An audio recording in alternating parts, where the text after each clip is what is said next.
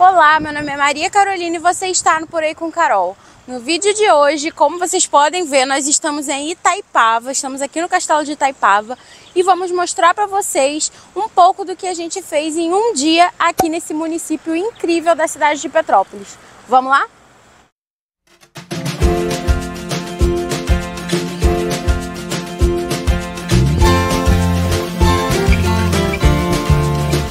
Oi, gente, então, eu vou começar esse vlog explicando para vocês como que vai funcionar. A gente está aqui no castelo de Itaipava agora, inclusive um dos pontos turísticos aqui de Itaipava é o castelo. Eu diria até que o principal ponto turístico de Itaipava é o castelo, porque aqui você pode fazer uma visitação independente de você estar ou não hospedado. Eu vou botar aqui o valor que é a visitação, né? Que você pode entrar no castelo e tudo mais. Mas se você não está disposto, ah, não, Carol, eu quero fazer uma viagem econômica, eu não quero eu não quero pagar nenhum valor e tal. Você também pode vir, porque eu acho que só essa área externa aqui já vale a pena, já rende muitas fotos legais. Você consegue vir aqui na frente do castelo, na parte de trás. Então, assim, é, na, você sai ali na BR-040, já entra aqui, tira uma, faz umas fotozinhas assim. Isso é de graça, a área externa você pode ficar de graça, de boa, pode parar no estacionamento ali e vir fazer umas fotos e depois ir embora. Mas se você tiver interesse em conhecer um pouco mais da história do castelo, aí você pode ou se hospedar, que você vai ter acesso, ou é, pagar a entrada para conhecer um pouco mais dele por dentro. Tá bom? Tem essas duas opções. Mas se você quiser ver um pouco mais desse castelo, mas se você quiser ver um pouco mais desse castelo aqui no YouTube, temos um vídeo que a gente se hospedou no castelo de Itaipava. Eu vou deixar linkado no final desse vídeo.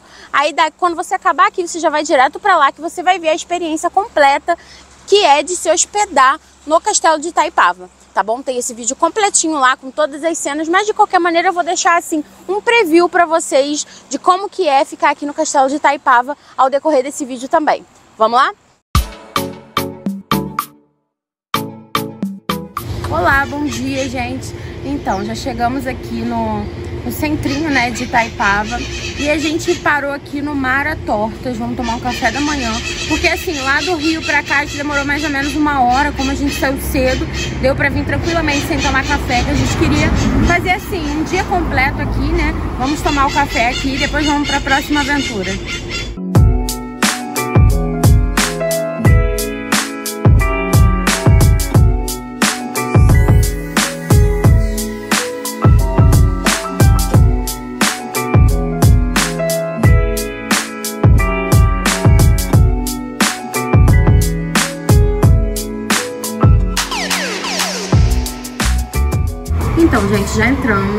Começar nosso café da manhã aqui.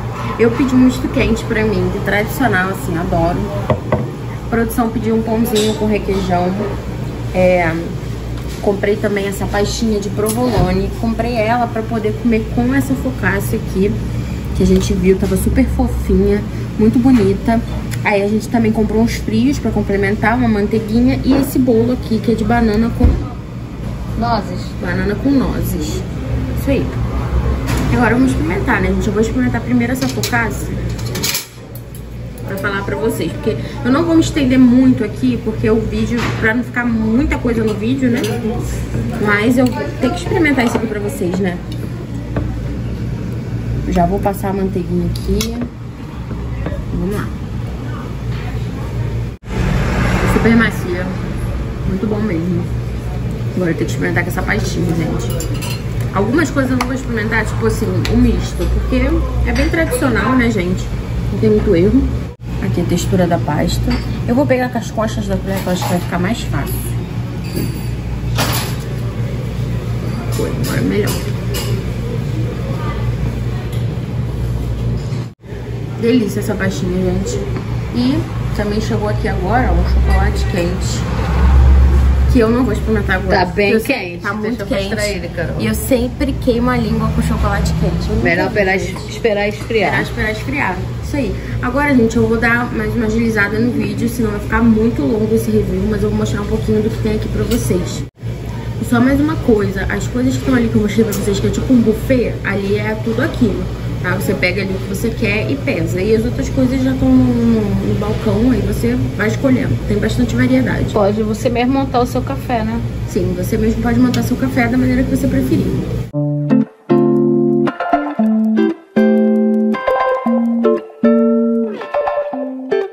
Então, agora a gente já tomou nosso café, né? Como eu falei pra vocês.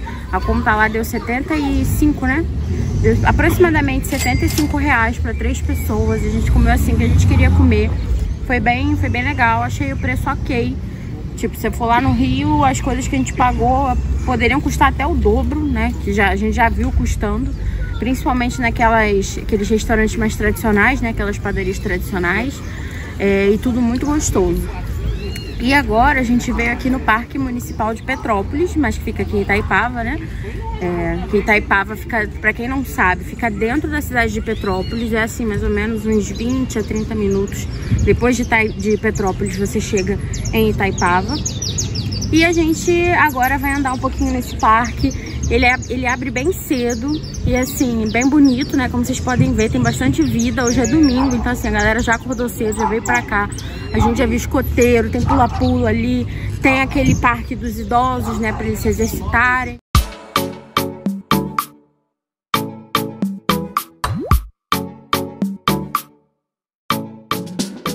Então, gente, agora a gente parou aqui, descobrimos que tem uma parte aqui pra você alugar bicicletas, e a gente alugou, é uma hora, 10 reais, aí você pode andar aqui, rodar pelo parque, ele falou que o parque é todo plano, então é bem tranquilo, a gente já alugou a nossa e vamos lá. Vai.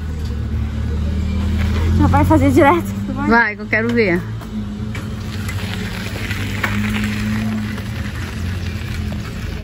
Gente, a gente já vem andando de bicicleta e logo perto ali de onde tem as bicicletas e tal, você mal anda e você já chega aqui nessa parte. Achei bem legal pra tirar uma foto, tem um balanço ali. Eu, inclusive, já vou fazer o meu clique, vou botar aqui do lado como que ficou. Bonito ou feio, ela veio aqui pro lado. E assim, já vi que ali tem uma parte de um pessoal adestrando os cachorros. Então, assim, tem muita vida. Ali tem uma, uma quadra também, campo de futebol, tem muita coisa. E agora a gente vai andar mais e conforme a gente for descobrindo as coisas, a gente vai mostrando. Ali tá a produção. A produção tá ali, ó, com a bicicleta dela. Vamos lá.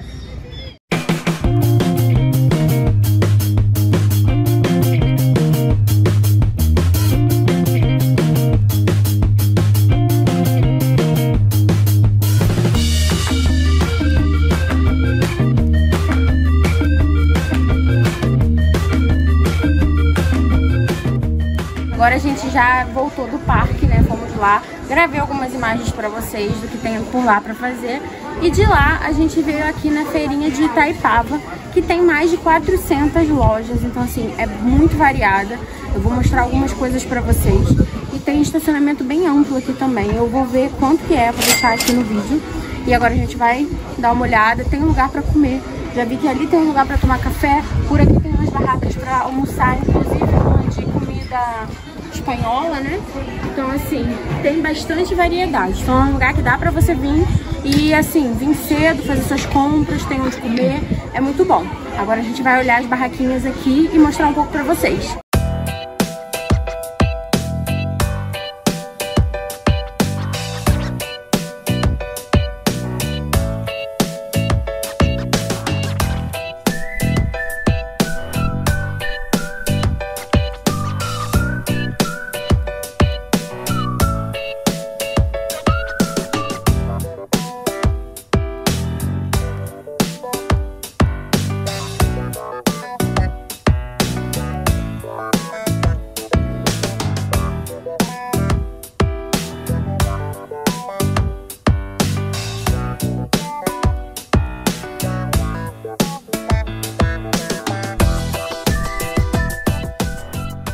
Então, gente, viemos direto da feira de Itaipava e agora paramos aqui no Chateau Bistrô, que fica bem no comecinho aqui da, da Estrada das Indústrias, né?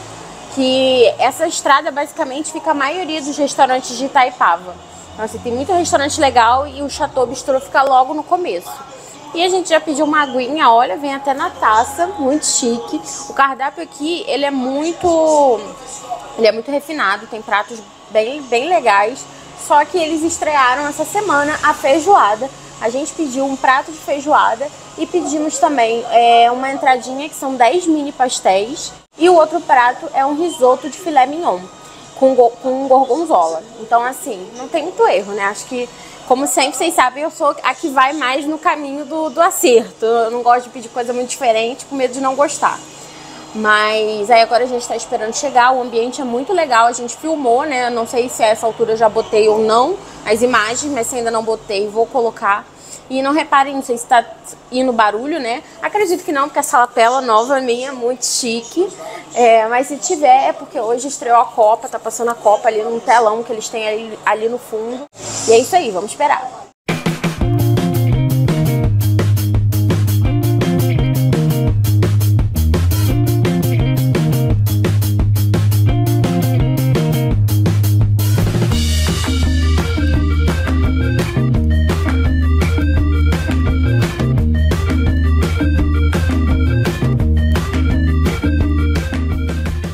Outra coisa que vem que eu achei bem legal aqui de entrada são esses pastéisinhos. Eles são de, que, de queijo roquefort com queijo brie e eles vêm com esse chutney de, menta, de, de menta, de manga.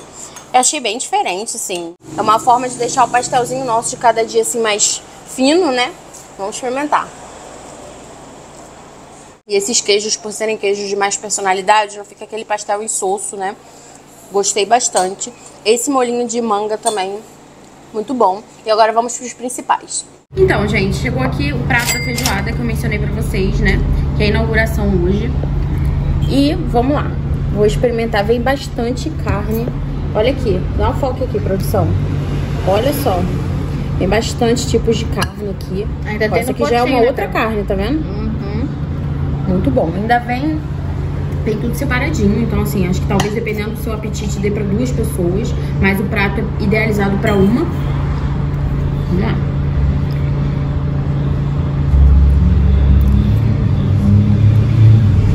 Gente, deliciosa. Muito, muito boa. E ó, que eu nem sou tão fã assim de feijoada, mas o feijão tá maravilhoso, assim.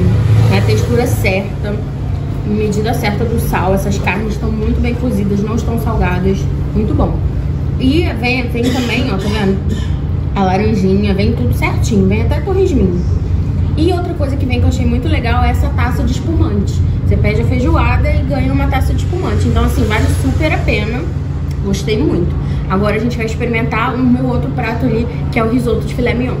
Agora, gente, é, a gente vai experimentar esse risoto, que é um risoto de filé mignon com gorgonzola. Assim, é, em termos de servido, a feijoada eu acho que ela rende mais. Então, se você é, é do tipo que sente mais fome, acho que a feijoada seria uma melhor opção. Mas eu acho que aqui vem uma porção ideal para uma pessoa que come normal, assim. Quem come pouco talvez seja muito, mas quem come muito talvez seja pouco. Acho que deu para entender, né?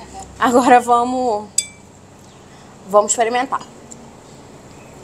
Maravilhoso, muito bom. O filé mignon tá muito macio. O gorgonzola não deixou salgado, que era um receio até que eu tava, mas aí eu falei, não, vou pedir mesmo assim.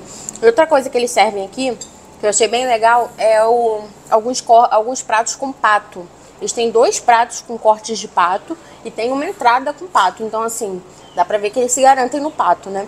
Só que, como eu nunca tinha comido, até hoje nunca comi pato, fiquei com receio. Falei, não, vou, dessa vez não. Hoje eu tô querendo ir mais no seguro e pedi isso aqui, não me arrependi, adorei.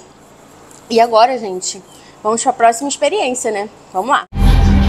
Então, gente, agora chegou as sobremesas. Olha que linda essa aqui, é um fondant de chocolate. E vem essa calda aqui de morango maravilhosa. Gostei, ainda vem sorvete em cima. Esse fondant, ele é tipo um bolinho de chocolate, como tipo brownie, sabe? Vamos lá. Gente, é muito bom.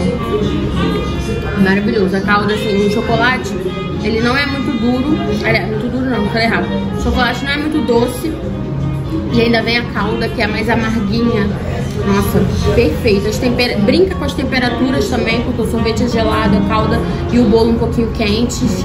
Amei, amei, amei. Agora, a produção vai falar dela, que é basicamente um Romeu e Julieta. É um pudim de grana padano com uma calda de goiabada. Momento produção. Olá, boa tarde. Então, vou é, apresentar para vocês aqui agora o pudim, né? O Carol já falou de que que era. Vamos ver se realmente é tudo que ele aparenta ser. Então, muito gostoso, entendeu? Esse queijo, bem saboroso o queijo com a goiabada, uma combinação perfeita, não tem erro. E vamos agora para a nossa segunda parte do passeio em Itaipava.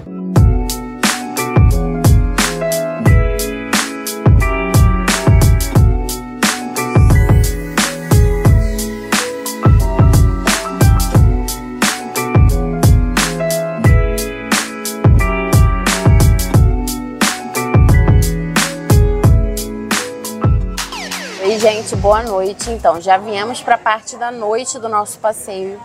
É, a gente estava procurando algum lugar com música ao vivo, esse era o nosso critério, a gente queria muito uma música ao vivo. E assim, primeiramente, a gente está aqui no domingo, né? A cidade é bem morta no domingo. Assim, tem quase assim, poucas pessoas na rua, ruas bem silenciosas. E o lugar que a gente achou assim com mais gente foi aqui. A gente tinha um shoppingzinho que tinha bastante gente. Só que lá não tinha música ao vivo. Acho que tinha bastante gente porque eram várias lojas, então o pessoal ficava lá.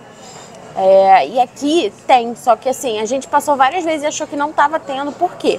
Porque eles têm uma parte da frente que eles servem só rodízio de petisco. E nessa parte da frente não tem a música ao vivo, só o rodízio de petisco. Aí tem o estacionamento e no final do estacionamento que tem o restaurante deles de à la carte, que é onde tem a música ao vivo. Então isso aí confundiu um pouco a gente, mas a gente acabou vindo pra cá porque a gente viu na internet que tinha. Então, de fato, tá rolando, ele só tá numa pausa agora. E assim, o restaurante é bem grande, tá com bastante gente, o estacionamento tá lotado. Então, assim, é um lugar que mais tá cheio que a gente achou foi aqui. E o, o, ambiente é bem legal, o cardápio é muito extenso, tem muita coisa, gente, muitas opções. Mas a gente queria vir hoje numa proposta mais de comer um petisco, ouvir uma música. Então, aqui, como, vou mostrar pra vocês como que funciona. É, o cardápio deles é por esse tablet e eles te dão isso aqui para você validar o seu pedido, esse QR Code. Aí agora a gente vai pedir aqui, a gente já escolheu o nosso pedido, a gente vai pedir uma isca de peixe e um filé aperitivo pra gente comer. Assim que chegar eu mostro pra vocês, já vou fazer o nosso pedido aqui. Então, gente, agora já voltou a rolar a música ao vivo ali. É muito legal, inclusive, a música, gostei bastante. E agora chegaram os nossos pratos, nosso pedido, que é esse filé aperitivo, filé mignon. E esse gurjão de peixe aqui com molho tártaro, muito bonito. O filé, inclusive, vem com um pedacinho de pão, achei legal. Agora vamos experimentar aqui primeiro esse filé. Tentando pegar alguma cebolinha também gostoso. Mas é aquilo, né, gente? O filé mignon não tem muito erro. Muito gostoso. A cebola também naquela, naquele, naquela borra da carne fica maravilhosa. Agora vamos ver o filé de peixe. Já esse aqui eu gosto de ver com a mão mesmo. Molinho tártaro. Chuchada. Empanado maravilhoso, gente. Muito sequinho, muito gostoso. Amei. Bem suculento. É porque esse aqui tá muito fino. Tentar morder Tentar morder um mais grosso. Hum. Muito bom. Perfeito na questão de sal. É assim, bem sequinho. Gostei. O molho tártaro também gostoso. Aperitivozinhos, música ao vivo. Tá ótimo. Valeu a pena vir aqui, Carol. Valeu super a pena vir. Então, gente, pedimos agora para finalizar essa banoffee. Foi R$15,90 é, já de antemão, já digo que eu achei ela meio pequena. Assim, eu não sei qual, se é muito se é muito custo fazer uma banoffee, não sei, mas talvez valesse mais a pena cobrar um pouquinho mais caro, servir uma fatia um pouquinho maior, não sei. Mas geralmente eu peço é um pouquinho maior. Agora vamos experimentar. Achei diferente o doce de leite, mas vamos experimentar. Acho que aqui já, na verdade, eu acho que isso aqui é tipo aquela geleia de banana. Vou, vamos tirar a prova agora. É isso mesmo. A banoffee diferente, né? E tem aquela... Não é geleia, como é que fala? É tipo uma compota, né? Enfim, eu não me lembro bem como é o nome, mas é tipo uma geleia. Às vezes você faz um doce de banana, às vezes é, é esse tipo aqui. Eu achei diferente, mas achei bem gostoso. Eu gostei da banoffee desse jeito. Acho que eu gostei até mais do que do jeito tradicional que vem a banana crua. Assim, ela trabalhada, acho que ela fica mais gostosa. Achei bem gostosa. Só poderia ser um pouquinho maior, ou então assim, ter meia ou a porção maior. Enfim, tô viajando muito aqui, mas É isso, gostei bastante. E eu já vou finalizar esse vlog aqui, gente, porque não temos mais coisas para mostrar, já finalizamos o dia. Espero que vocês tenham gostado da nossa experiência aqui em Itaipava. Se você quer ver mais lugares, deixa sugestões aqui nos comentários. Se de repente a gente vai aqui próximo ao Rio, interior de São Paulo, também de repente a gente vai. E é isso, espero que vocês tenham gostado. Não se esqueçam de se inscrever no canal, ativar o sininho, curtir, compartilhar com os amigos, comentar. E também de me seguir nas outras redes sociais, por aí, underline com Carol, no TikTok, Instagram e Quai. E vamos por aí com Carol?